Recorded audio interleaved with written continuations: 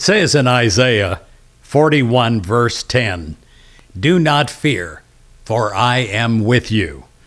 Do not be afraid, for I am your God. Embraced by the brilliance of this new day, you're filled with the joy of discovery. And what you have discovered is this an awareness of God's presence and love is reborn in you this day. With a fresh, brand new outlook, you behold the glory of God everywhere.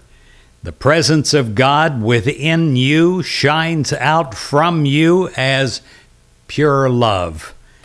Each loving word that you speak, it serves as a reminder of divine light that shines within you and within all people.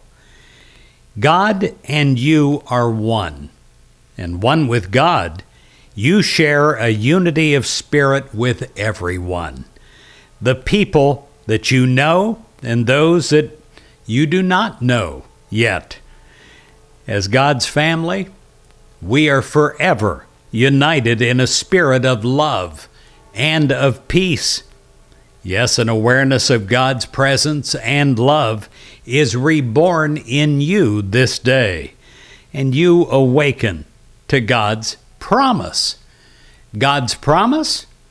I am with you.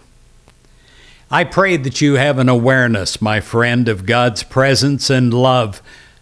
I pray that it is reborn in you this day.